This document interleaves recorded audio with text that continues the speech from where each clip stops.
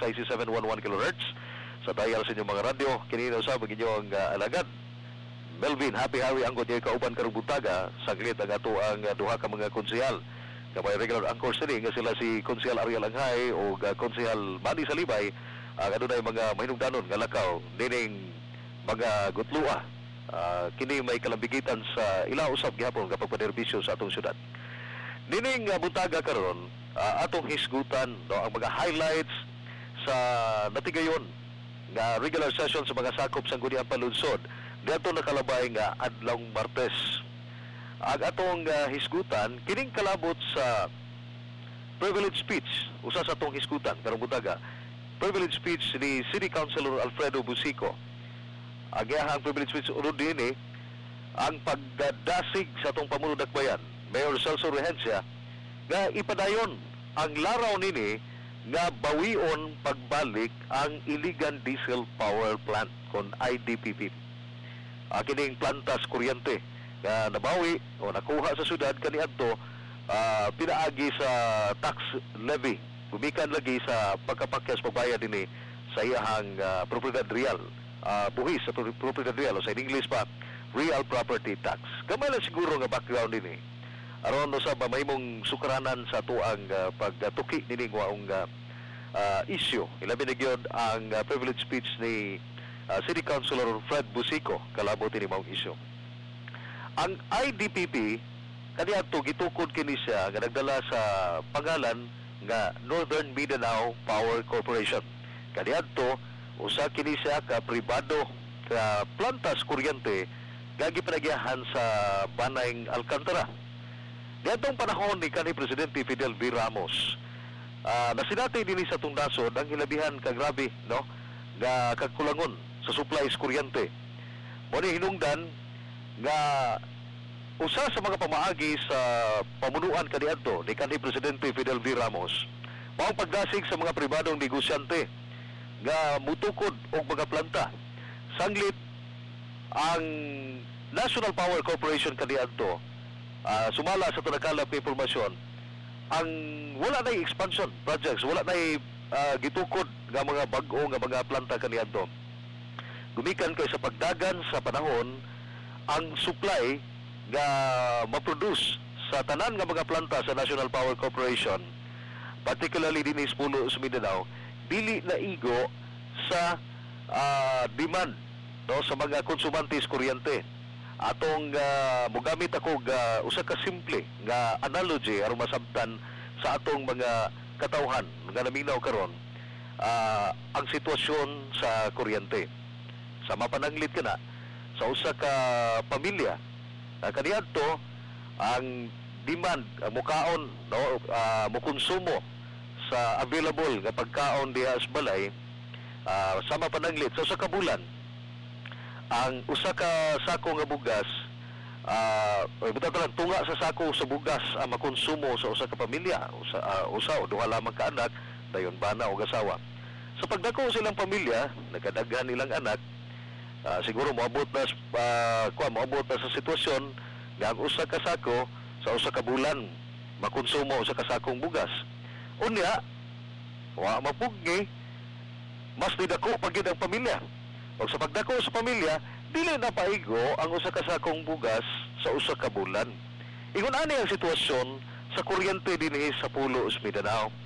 Wala na mga bagong planta nga naggama o nagproduce og kuryente apan nagkataas ang demand. Gumikan kay nakadagan ang populasyon, nakadagan ang mga konsumante, nakadagan ang mga business establishments nga gitukod, nakadagan ang mga industriya nga natukod. Buti pasabot, nitaas ang demand sa kuryente dinhi sa pulo sa Mindanao apan nagpabilin ang supply gikan sa mga power producers particularly ang mga planta sa National Power Corporation. Mao kato hinungdan nga dunay krisis kuryente. Kulang na ang supply kung itandi sa demand sa mga konsumante.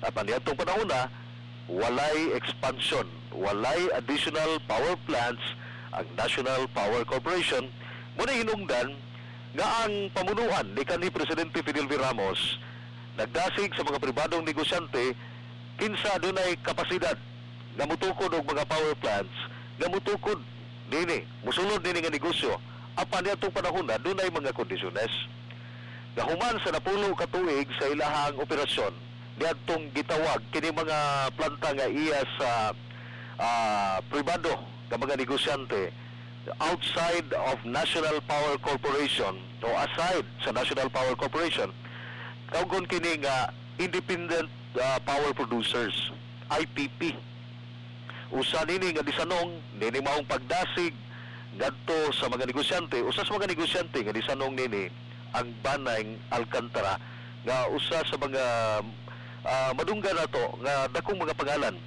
sa natad sa negosyo dinhi sa tong dasod sa Pilipinas. So nini ah doon naman sila yuta dahil sa eh, Mapalad, no? Ibabaw nga bahin sa Barangay Dalipuga. Nagtukod sila na ng planta. Gitawag pa ni kaniadto og Northern Mindanao Power Corporation, kung nining PC. Apan sa paglabay lagi sa napulo ka tuig, kay naaman as kontrata, after 10 years, ang management and operations o ang operations and maintenance sa maong planta, ang kanhi NMPC, maadto na ngadto sa National Power Corporation. Wala paglabay sa napuno ka tuig, gilisda na nis pangalan nga Iligan Diesel Power Plant. Duha man ka units, dunay Iligan Diesel Power Plant 1, duna usay Iligan Diesel Power Plant 2. Muna natuko diya sa ibabang bahin sa barangay Dalipuga. Apan gumikan sa paglabay usab sa panahon, napakyas kining NPC. Napakyas sa pagbayad sa ilahang real property pro- real property tax o buwis sa mga kabtangan o real property tax RPT sa kagamanang lokal sa Iligan niabot sa punto ah doon na may gahom no ang kagamanang lokal sa Iligan gahom sa pagbuwis o kung pakyas ang magbubuwis nga makabayad sa iyang buwis aduna na usay ni gahom sa paglevy pag-embargo diyan ang maong mga kabtangan nga wa makabayad og buwis o wa mabayri ang buwis. Mao nga to hinungdan nga niabot sa point nga kini napay lalom sa levy o sa pagdagan usab sa mga proseso ni tunay pag-uyon ang national power kay di magid sila makabayad na o di maka ah, wala sila pamaagi nga ah, makabayad pa sa maong uh, delinquente nga real property tax mao kini hinungdan nga naadto kini sa syudad ilang gialaw ang ownership ilang gibalhin ngadto sa kagamanang lokal sa Iligan unya lagi gatong panahon ni kanhim Mayor Lawrence Cruz Ah, diha sa iyang pagkonsulta sa mga experts ah, sa natad sa power generation o rining industriya sa enerhiya, ano, energy industry. Ah, diha sa iyang pagkonsulta sa mga experts, nakita niya nga kinahanglanon di ay kung ang syudad may mo-operate ni mao planta, magkinahanglan di ang syudad. Una, at sanglit wa mag-operate ang mga syudad sulod sa taon-taon nga panahon na kinahanglan kini og 1 billion pesos nga salapi aron marehab no mapabalik sa kanhi niya normal operation ang maong planta gumikan lagi kay wa naman nila operate sa taon ka panahon kinahanglan siyang i-rehabilitate o i-rehab ang pag-rehab sa mong planta na kinahanglan og 1 billion pesos diso dayon sa pangutana o diso diya sa nauna sa atong kanhi pamunuan asa man pang, mangita ang kagamahanan sa syudad sa Iligan diyan ang 1 billion. Imagine, 1 billion is equivalent to 1,000 million. No? Usa ka libo ka milyon mo ng 1 billion. Asa magita. Then according to the same experts nga gikonsulta sa kanhi pamunuan, na kinahanglan ang maong planta o gikan sa 60 milyones ngadto sa usagatos milyones pesos alang sa pagmintay niya na sa iyang operasyon niya no kung ipa-operate na mga planta that's another question kung asa pangitaon sa syudad ang maong salapi o kung kinihinungdan nga nakadesider ang syudad. Nga ibaligya na lang na sa usa ka pribado nga negosyante nga dunay kapasidad nga mo-operate na na kaya nagtuusab ang pamunuan kaniadto na pinagis pagbaligyan nila mas mapadali ang pagsulbad sa problema sa kakulangon sa kuryente.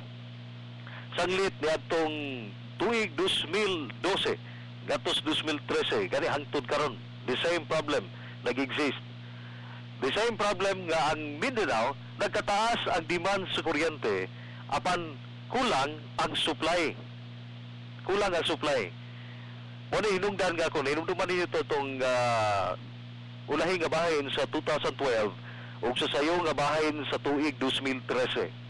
Moabot nga to, doon lagi mga adlaw.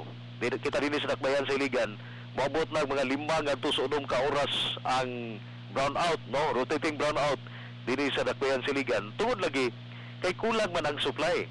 Sa mapananglit, ang Iligan Light and Power Incorporated sa itong nasayran ang gikinahanglan nga supply sa kuryente aron ang Iligan Light makahatag og kuryente ngadto sa tanan nila nga mga konsumante nagkinahanglan kini og 37.5 megawatts matag adlaw apan diha sa ah, power sales agreement o ang gibaligya nga kuryente sa National Power Corporation ngadto sa Iligan Light and Power Incorporated ana lamang sa 15 megawatts. 15 megawatts. So sa laktod nga pagkaistorya dunay 20 kapin ka mga ah, megawatts supplies kuryente. 20 megawatts plus ang gikinahanglan sa Iligan Light. Aron matubag ang demand sa mga konsumante sa Iligan Moto hinungdan gadun ay rotating brownout dinhi sa Dakbayan sa Iligan. Mo ni ang sitwasyon. Now karon, balik ta sa IDPP. Nagaom ang kagamanang lokal sa Iligan sa pamunuan kaniadto ni Kanhi Mayor Lawrence Cruz. Kamo ay pinakamadali nga o pinakadali nga paagi nga matubag ang kakulangon sa kuryente sanglit taas ang proseso o kinahanglan og dako nga balor sa salapi ang syudad kung mao'y mo-operate na ng IDPP aron makasupply og kuryente sa mga konsumante dinhi sa Dakbayan sa Iligan. Mao kato hinungdan. Hinon giagi to og konsultasyon gihapon sa Commission on Audit kung natukma ba ang lakang sa pagbaligya sa IDPP nga iya na sa syudad. O kung pila ang agayan nga balor o kining kantidad sa maong planta kung ibaligya ngadto sa sakoprobado nga negosyante. O di pagula niadto uh, tubag ang COA nga kung ibaligya man laktod pagkastorya kaningon kung ibaligya ato pa ni Uyon nga sige ibaligya kung walay kapasidad ang susunod sa pag-operate nini o pag-maintain sa maong planta. Kung ibaligya man do naman to'y mga hungihong kadiadto nga ah, paliton ra na sa usa ka pribado nga ah, negosyante ah, 250 million Tunay ningon nga ginegosyate sa 300 million apan sa computation sa gi-rekomendar nga kantidad sa Commission on Audit ako ni kuwagin nga ah, dito sa kauluhan Commission on Audit Manila ningon nga 386 million ang agayan nga kantidad sa mga planta. O mao kadto ang gimong basihan diha sa bidding process. O sa bidding process ang gitawag nato nga official gyud nga nagbid usa lamang. Doon na daghan nga ditambong sa mga kwan mga matawgo na tawgo na nga pre-bid uh, conference. Ah doon ay daghan nga ditambong nga mga interesado nga mga negosyante. Apan sa actual bidding ang ipalit og bid documents bisumiter og balik sa ilahang mga bid documents tanan nga mga papilis nga gikinahanglan ang Conal Holdings lamang ang Conal Holdings nga iya gyapon sa Banay Alcantara. Ang original nga tag-iya sa kaniadto Northern Mindanao Power Corporation kun NMPC. Mao ni karon sila ang binugtong nga ah, bidder na itong panahon na kaya ang uban uh, wa magyud ni sumiter sa ilahang mga ah, gitawag na to ah, sumiter formal sa ilahang mga bid documents. Doon na to iningon nga ni appeal sa bidding pero sulat naman na to, letter man na to yung gisubmit, dili man mga bid documents aron may mong opisyal ang iyang bidding. So nagbinugtong ang Conal. Mao kini hinungdan nga tungod kay nagbinugtong nahatag gadto sa Conal. Ang Conal ay gibaligyaan sa maong planta ang IDPP. Kini gumikan sa usa sab sa objective sa pamunuang lokal sa Iligan nga matubag sa labing dali nga panahon.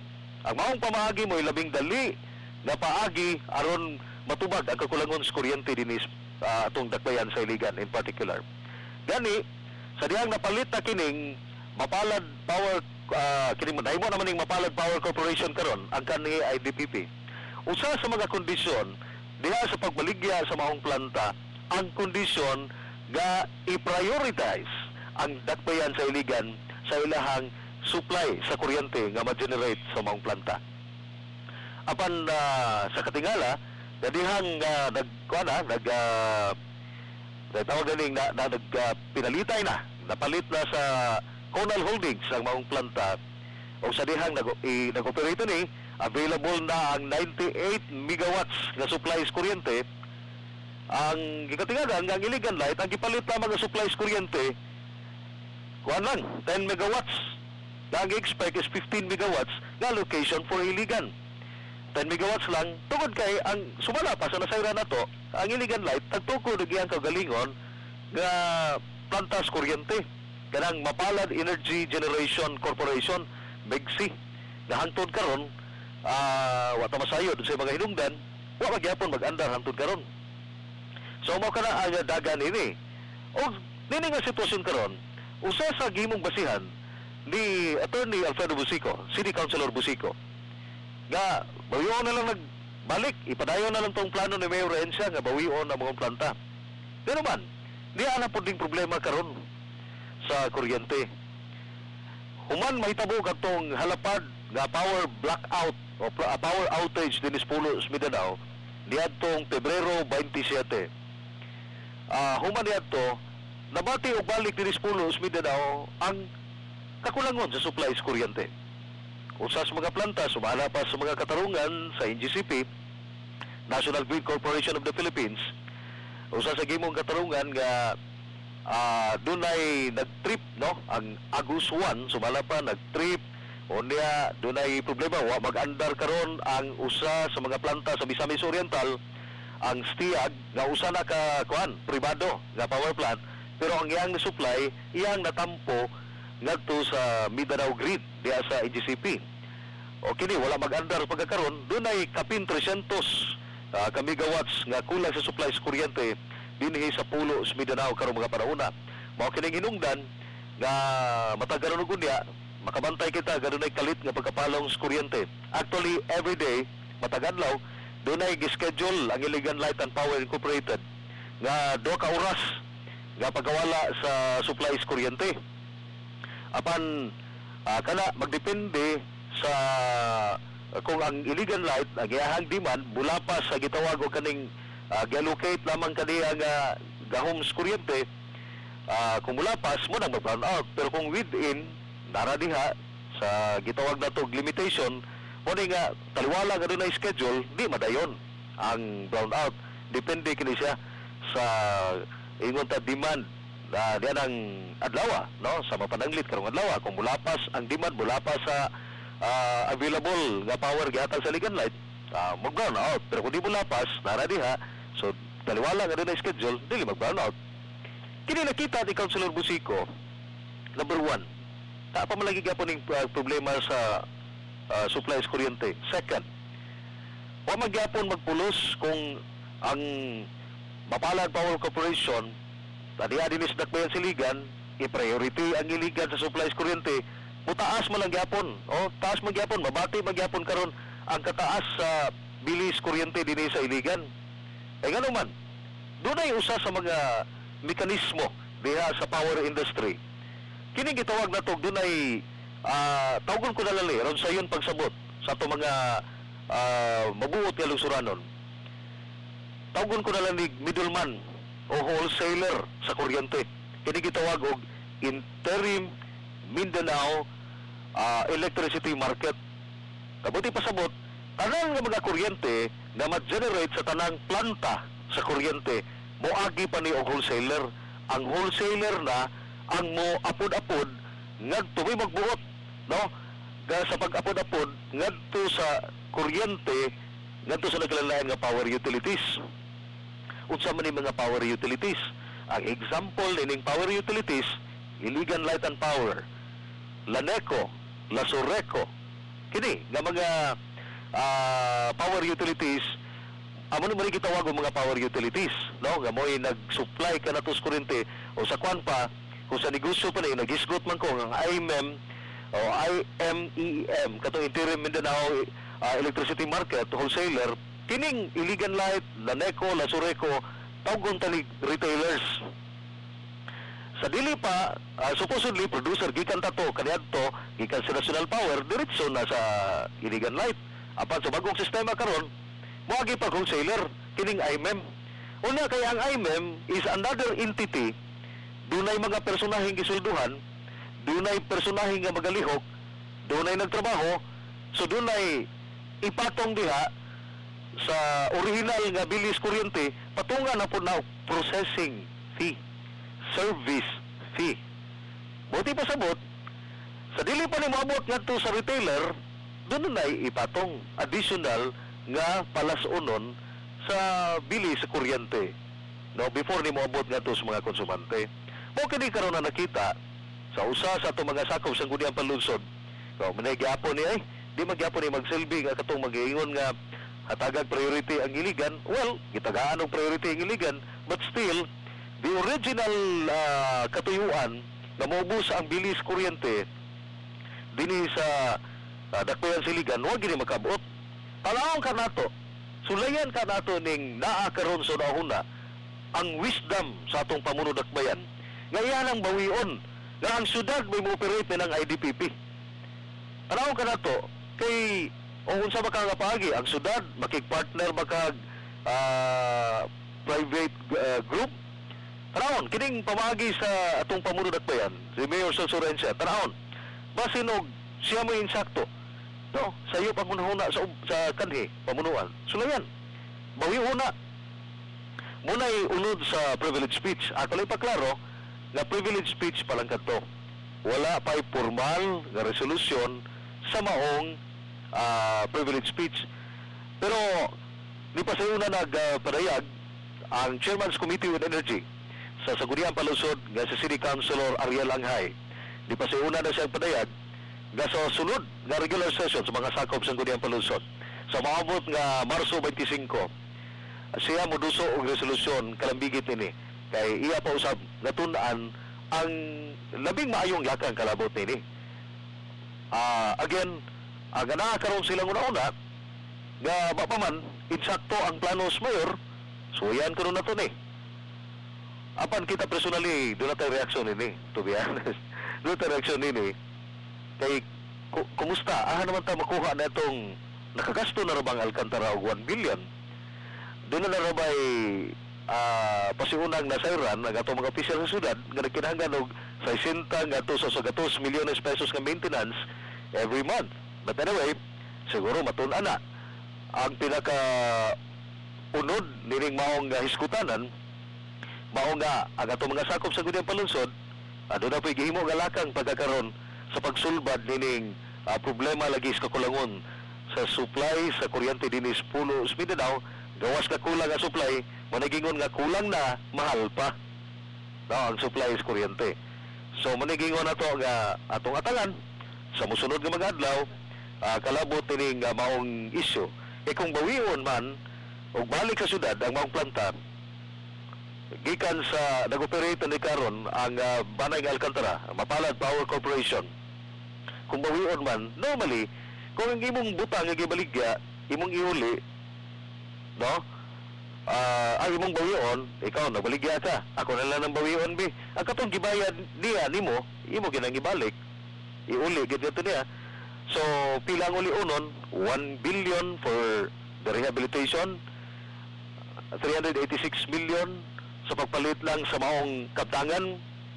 Wala pa'y labot nini. Kaya nag-operate na ba ni sa milabayang pila ka bulan. Ah, siguro, refund po to. Ilang nagasto sa maong operation. Well, ato lang ning ah, mga pag-estimate o pagkalkular o pag-calculate na ning maong ah, ah, lakang karon. But anyway, alam ka na to, ah, sa pagkakaroon, ah, ang burden nakaroon sa atong pamunudak bayan pero nagsalig na nagsalig kita nga aduna na mga planong daan ini ang atong pamunudak bayan. Well in fact isa ni sa iyahang campaign promises ang iyang gisaad panahon sa kampanya niadtong eleksyon sa Mayo 2013 nga kung siya ang mahimong mayor sa Dakbayan iyahang bawion ang IDPP okay nasayop. Ah, alang kaniya nasayop ang kanhi pamunuan sa gimong lakang pagbaligya nila so mo ni karon ah, ang mga sakop sa Gudya Palusod gitun-an na. Si City Councilor Fred ang disugyot na nag-encourage na sa atong pamunuan bayan bawion na to na mayor ipadayon ko no ang imo ang pagbawi niya na tanaw na to kay basin di ay og ikaw ang insakto. So mo ni karon ang baruganan sa ato ang uh, mga sakop sa Gudyan Palunsod. Uh, although this is not yet this is not yet the, the, the property of the entire body the village speech pa lang kato pero pabuto na to sa sunod nga regular session sa mga sakop sa Gudyan Palunsod. Karong umabot nga Marso 25 karong umabot nga adlong Martes kung uh, unsa ang unod sa resolusyon nga iduso sa chairman sa Committee on Energy nga si uh, City Councilor Ariel Anghay. Na kalabot dining maong isyu. Di nila maguna kita kutob, o mga lawa kita gyapon ang maguban-uban, kining atong tulumanon, kalambuan sa sanggunian, diri sa RMN DXIC 711. Dagang salamat, mayong buntag kaninyong tanan.